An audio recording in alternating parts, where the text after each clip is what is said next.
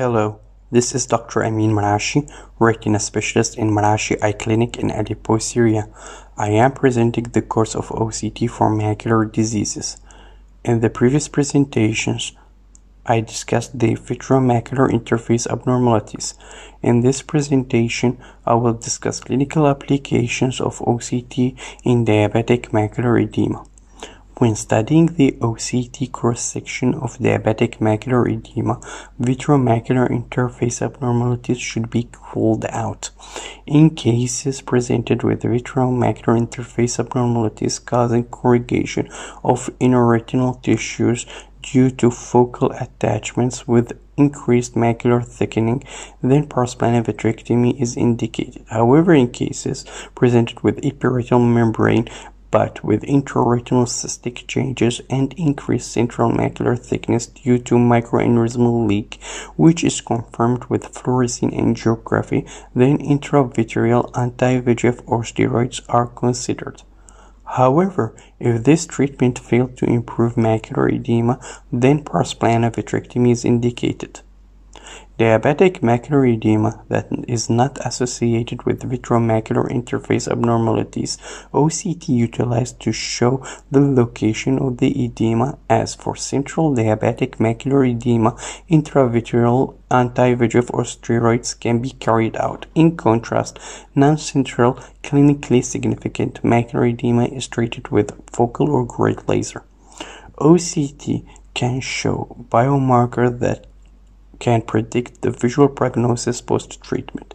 Therefore, in cases presented with disorganization of inner retinal layers or an ellipsoid zone disruption with or without external limiting membrane disruption, it will have a guarded visual prognosis. In contrast, the absence of the early mentioned biomarkers may predict better visual prognosis. OCT features in diabetic macular edema are increased retinal thickening, which may be associated with loss of foveal pit in some cases of central diabetic macular edema. A cystic formation can be empty or non-empty continent in a circular or oval shape.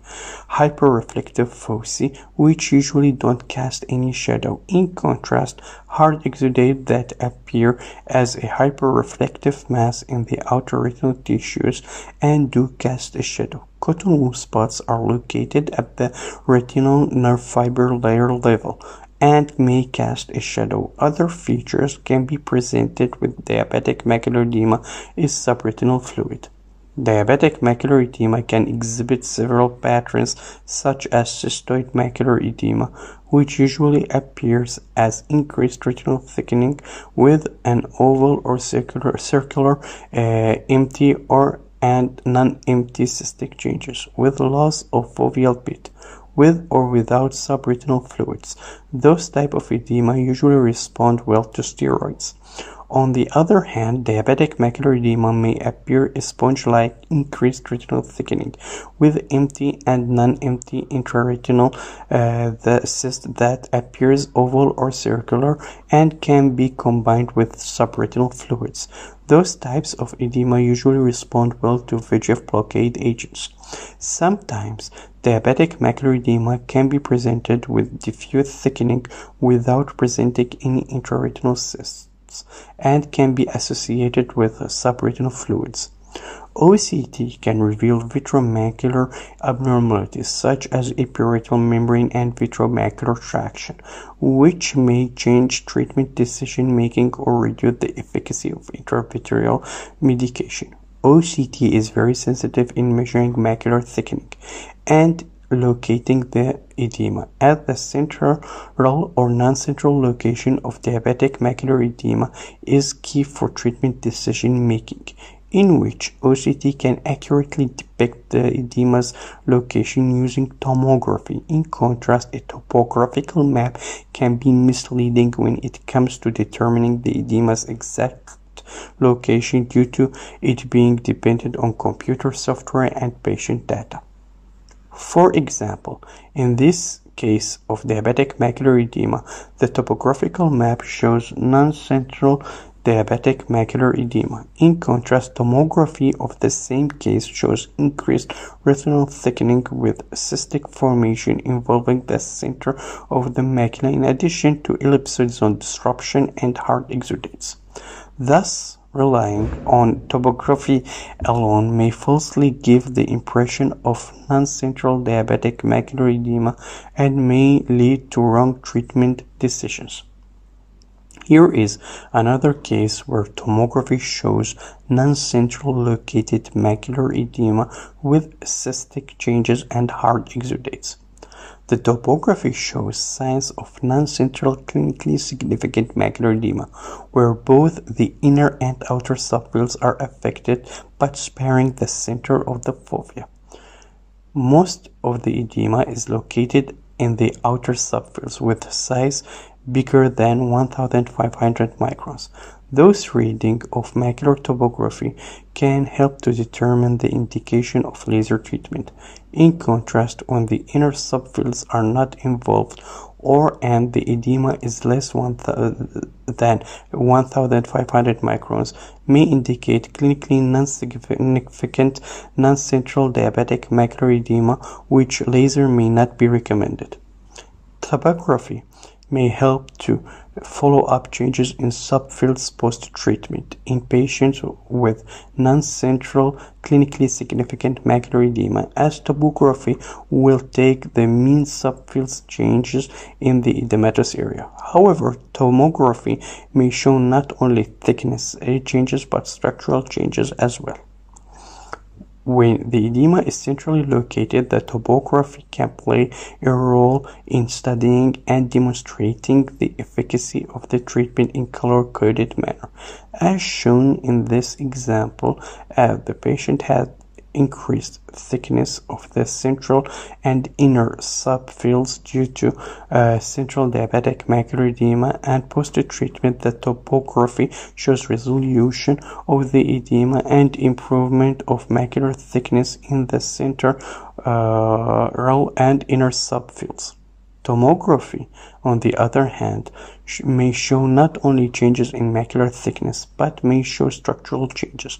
For example, these uh, OCT cross sections are for the same patient shows increased central macular thickness with a mix of non-empty and empty cystic changes along with subretinal uh, fluids and hyperreflective foci. However, post-treatment cross-section shows resolution most of intraretinal cysts subretinal fluids and reduction of central macular thickness but with some non-central ellipsoid zone disruption.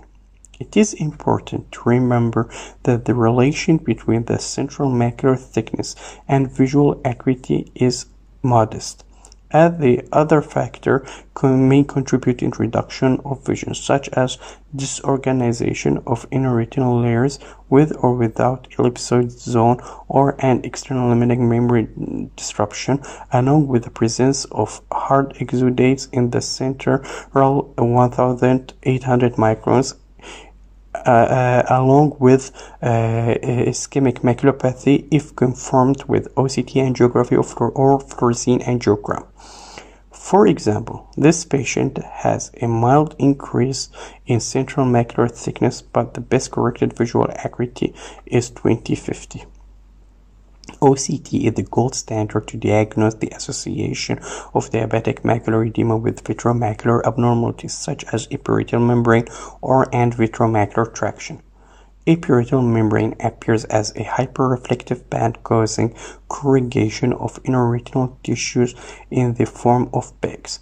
In contrast, vitreomacular traction appears as anterior-posterior oblique traction. Both epiretinal membrane and vitreomacular traction may increase macular thickness and induce intraretinal cystic changes. When Tractional elements cause the diabetic macular edema. The treatment of choice is surgical by performing pars plana vitrectomy. It is important to rule out vascular elements that contribute uh, in inducing macular edema in uh, cases presented with vitreomacular interface abnormalities by using fluorescein angiography to rule out leaking microaneurysms. As in this case, there is an epiretinal membrane that does not cause distortion or corrugation of inner retinal tissue, but there are intraretinal cystic changes. In this case, fluorescein angiography may reveal leaking microaneurysms. Both tractional and vascular elements induce some uh, types of uh, diabetic macular edema, as treating the vascular element itself may only reduce edema partially, while the rest of the edema may require surgical intervention by performing pars plana vitrectomy. Topography for the same patient shows serrated uh, borders in the area of tractions. In contrast, edema appears with smooth borders. OCT in diabetic macular edema can contain several biomarkers which can predict the underlying pathogenesis and prognosis, such as hyperreflective foci are signs of the active inflammatory process due to activated microglia. When they surround the cyst wall, it forms pearl necklace sign, which may indicate a chronic diffuse leakage. Other important biomarkers are the disorganization of inner retinal layers, which may predict guarded visual prognosis. Every 299 microns of disorganization for more than 4 months will lead to one line loss of the final visual acuity. The other independent biomarkers that may affect visual prognosis are disruption of the external limiting membrane or ellipsoid zone. In cases presented with a central external limiting membrane or ellipsoid zone disruption, end up with visual prognosis regardless of the inner retinal layer status. Please see the difference in the organization of inner and outer retinal layers between two halves of this cross section. OCT can be handy in revealing complications of the proliferative diabetic retinopathy at the posterior pole. These include vitreous hemorrhage, which appears as hyperreflective dots, and preretinal hemorrhage appears hyperreflective with a smooth borders casting shadow. OCT is useful in these cases as it will rule out diabetic macular edema, which may impact treatment and follow-up decision making. OCT, on the other hand, can reveal the presence of fibrovascular proliferation, which appears hyperreflective, uh, anchored within taut posterior cortical vitreous.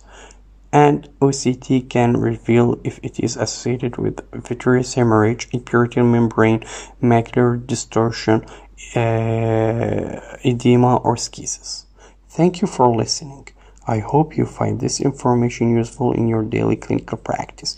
Please stay tuned to the next presentation where I will discuss about the clinical application of OCT in vascular and non-diabetic retinal diseases.